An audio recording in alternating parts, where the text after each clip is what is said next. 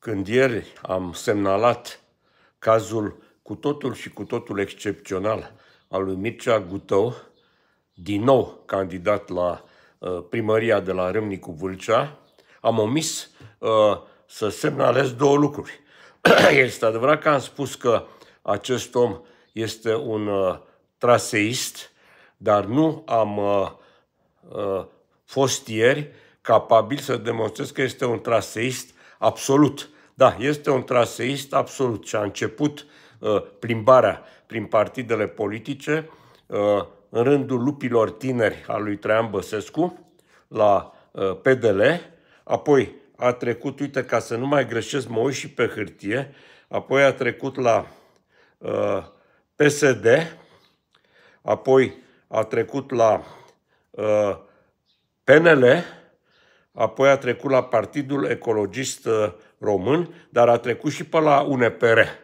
Deci a parcurs absolut uh, toate uh, partidele uh, cât de cât relevante. Astăzi este în PSD și candidează din partea lui PSD.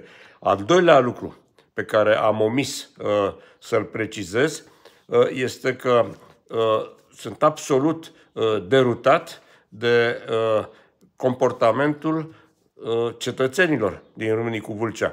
Ei se mută și ei de la, își mută preferințele de la un partid la altul cu o asemenea viteză, dacă îl votează în continuare pe Gutău, sau uh, se, uh, uh, sau vor renunța să mai voteze, repet, campionul traseismului din România. Și aici nu mă refer, repet din nou, la cele două condamnări penale pentru corupție pe care uh, Gutău le-a primit, ambele legate de uh, modul în care a sifonat banii primăriei. Nu, mă refer doar la uh, traseism. Ce votează uh, cetățenii uh, din uh, Râmnicu Vâlcea? Votează uh, un traseist uh, și un uh, infractor dovedit sau votează un, uh, un uh, primar?